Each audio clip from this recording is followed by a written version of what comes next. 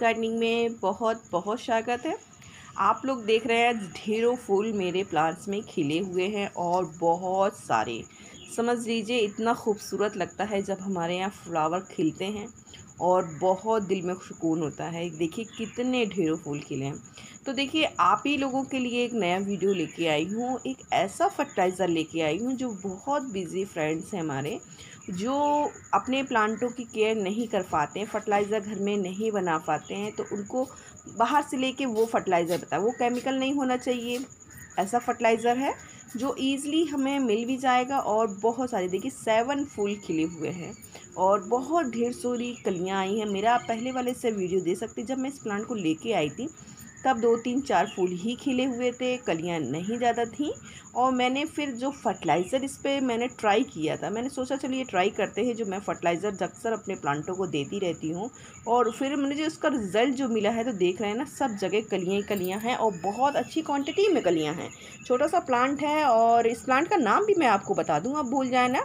मंडीविला है, इसकी कई वैरायटी आती हैं। देखिए ना, चारों तरफ़ आपको कलियाँ छोटी छोटी तैयार हो रही हैं।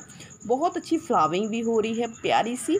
जो मैं फर्टिलाइज़र आज बताऊँगी आपको, वो एक महीने में सिर्फ़ आपको वन स्पून देनी है, सिर्फ़ एक महीने में। और बिज़ी जितने फ्रेंड्स हो तो उनको कोई प्रॉब्लम नहीं। फूलों का शौक़ है, हम ऐसी वाइन है ये। हम इसको पॉट में देखिए, मेरे यहाँ पाँच इंच छः इंच का पॉट है, समझ लीजिए। उसमें ये लगी हुई है। अभी मैं रिपोर्ट भी नहीं करूँगी, थोड़ा सा रुक के करूँगी रिपोर्ट और अभी इस फ्लावरिंग का टाइमिंग है।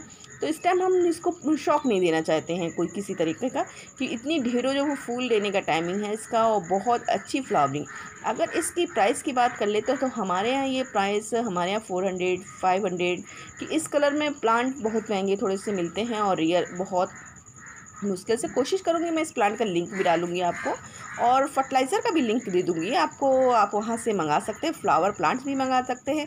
ये कलर मैं बहुत दिनों से ढूंढ रही थी तो मुझे बहुत मुश्किल से मिला है। वाइट ज़्यादा इसका मिल जाता है। वाइट है पिंक ये बहुत ईजिली मिल जाते हैं। तो इनकी प्राइस भी कम होती है तो वो टू हंड्रेड थ्री हंड्रेड की रेंज में मिल जाते हैं। और हम इसको नर्सरी से अभी भी ला सकते हैं और नर्सरी में ना मिले आप तो मैं इसमें लिंक दे दूँगी। वहाँ से आप मंगा सकते हैं। और फ्लावरिंग इतनी अच्छी होती है वाइन परमानेंट प्लांट है, समझ लीजिए परमानेंट फूल देता है। तो सबसे पहले हम इसकी मिट्टी की बात कर लेते हैं। इसलिए कि मिट्टी बिल्कुल सॉफ्ट चाहिए होती है। हम कैसी मिट्टी इसको हम बनाना चाहें, वैसी बताती हूँ मैं आपको। देखिए फोर्टी परसेंट हम इसमें गार्डन की मिट्टी ऐड कर लेंगे। ट्वेंटी परसेंट हम इसमें जो लीव्स होते हैं, जो पुरानी लीव्स होती है, उसकी मैं खाद ज़्यादातर बना के रखती हूँ। वो ऐड कर लेती हूँ और उसमें मैंने थर्टी परसेंट काउ डंक बर्मी कंपोस्ट या कोई आपके पास हो, वो ऐड कर लीजिए। उसमें ये प्लांट लगा दीजिए। इसकी कटिंग भी लग जाती है, बहुत आसानी से इस टाइम इसकी कटिंग भी आप लगा सकते हैं। थोड़ी थिकनेस वाली पेंसिल की साइज़ की जो होती है कटिंग, वो लगा सकते हैं। देखिए, इस तरह से देख रहे हैं आपने, इस तरह से कटिंग आपको मिल जाए तो ईजिली लगा लीजिए। मुझे इसके फूल के बीज अभी तो नहीं, इसमें अपने अपने दिखे हैं, बनेंगे तो बताऊँगी, दिखाऊँगी ज़रूर आपको। तो इस तरह देखिए मैं कम से कम पाँच इंच या छः इंच का पॉट है, मुझे इतना क्लियर नहीं है। छः इंच का होगा कम से कम। इस पॉट में ये लगा हुआ है। रूट बॉन्डिंग होने लगेगी जब रूट्स को बहुत अच्छे से ऊपर आ जाएँगे। तो मैं अभी इसको कोई शौक नहीं देना चाहती तो इसको मैं जब तक फ्लावरिंग हो रही है, तब तक मैं इसको रिपोर्ट नहीं करने वाली दूसरे पॉट में। बड़े पॉट में कम से कम पॉट आठ दस इंच का बस पॉट दूँगी, इसको सफिशेंट होता है।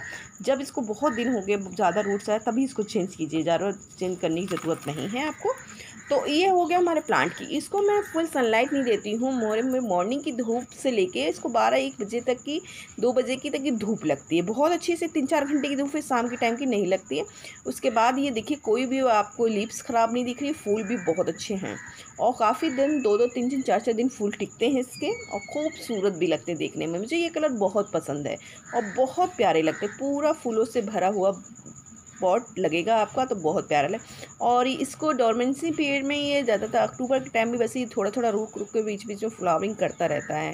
तो ये हो गया हमारे फ्लावरिंग की बात। अब मैं जो आपको फर्टिलाइज़र स्किन पे दिखाऊँगी, मैं इसका लिख के, मैं उसका वो भी दिखाऊँगी कि मेरे पास रैपर मैंने चेंज करती हूँ, मैं जब हमेशा रैपर हटा देती हूँ तो रैपर की तरह आपको जो फर्टिलाइज़र वो दिखाती हूँ। देखिए स्क्रीन पर आपको जो दिख रहा है, ये वीट फर्टिलाइज़र है।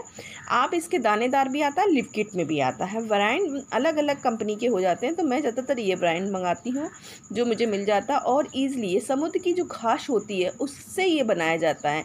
लिक्विड में भी आता है इसका, बहुत अच्छा होता है और इसके आप दानेदार चाहते हैं तो दानेदार भी मंगा सकते हैं। दानेदार ब्लैक थोड़ा सा ब्राउन इस तरह से किसके कलर मुझे अब ये आया है, मेरे पास ब्लैक कलर का, मैं अभी आपको दिखाऊँगी, ज़रूर मैं एक रैपर में रख, से अच्छा मैं पॉट उसमें रखती हूँ डिब्बों में। चलिए ये देखिए। मेरा थोड़ा, अब इतना बचा हुआ है, मैं हर महीने अपने प्लांटों को एक एक स्पून ये देती रहती हूँ, कोई केमिकल इसमें नहीं है। नेचुरल है, नेचुरल ऑर्गेनिक फर्टिलाइज़र ही मैं ज़्यादातर सोचती हूँ देने के लिए तो कोशिश कीजिए एक स्पून, सिर्फ़ इसकी एक स्पून। में एयर टाइट रखना ज़रूरी होता है कि भाई खाद है, ख़राब हो जाएगी तो सिर्फ़ एक स्पून से भी कम दे दीजिए। प्लांट की कौन, साइज़ के हिसाब से है, मैं इसका आधी स्पून से लमसम दे रही हूँ, आधी देख रहे हैं ना आप, इतनी देती हूँ। जब भी हम इसको दें तो अब ये बात का ख्याल रखें कि प्लांट में आपको ज़्यादा और फर्टिलाइज़र देने की ज़रूरत नहीं, पर यही सफिशेंट है इसके लिए। सिर्फ़ मैं उसमें फिर कोको मैंने जो मिट्टी बनाई थी, तभी बस खाद डाली थी, उसके बाद से मैंने खाद नहीं डाली। सिर्फ़ हर महीने हम इसको एक चम्मच ये दे देते हैं, उससे आपका रिज़ल्ट बहुत अच्छा मिले। इसका जो लिपकिट आता है लिपकिट आप हर पंद्रह दिन में या बीस दिन में या एक महीने में स्प्रे कर देंगे उसकी पत्तियों पर एक लीटर पानी में यदि चम्मच इसको पानी घोल बना के उसको स्प्रे कर दीजिए तो रिज़ल्ट बहुत अच्छा मिलेगी। दोनों तरफ़ से इसको खाद मिलेगी तो बहुत अच्छे सर्वाइव करता है। तो ये देखिए मैं इस तरह से फैला दे रही हूँ। इसमें पूरे में अरे, एक ही जगह लग रहा गिर के, मैं इसको अलग अलग कर दूँ। और कोशिश जब ये हम खाद दें तो पानी दे दीजिएगा। मैं अभी इतने टाइम ये दे रही हूँ वैसे कोशिश मैं यही करती हूँ कि नाइट में ही सारे अपने प्लांटों को खाद दे देती हूँ जो मुझे इस तरह की खाद देनी होती है। तो वह आपके लिए मैंने अभी देखिए एक थोड़ा सा पानी डाल दी पानी से ये होता है कि हमारी खाद जल्दी से उसमें घुल जाती है और मिल जाती है। तो ये बहुत अच्छा होता है। तो ये आप बहुत ईज़िली आपको कोई मेहनत करने की ज़रूरत नहीं पड़ेगी और इसकी बात कर लेते हैं पानी की। देखिए, इसको हमें पानी कैसा देना है? इसको हर बार सौगी मिट्टी नहीं बनानी है। मिट्टी में थोड़ी सी नमी रहनी चाहिए और जैसे कि मिट्टी ड्राई हल्की सी हो जाए तो फ़ौरन पानी दीजिए। अगर ज़्यादा मिट्टी ड्राई नहीं हो रही है, पानी आप डाल दें तो फंगस लग जाएगा, जिससे आपका प्लांट ख़राब हो जाएगा। प्लांट में कीड़ों की बात कर लेते हो रेनी सीज़न में तो अक्सर प्लांटों में कीड़े लग जाते हैं पत्ती खाने तो आप इसमें नीम ऑयल का स्प्रे कर लीजिए।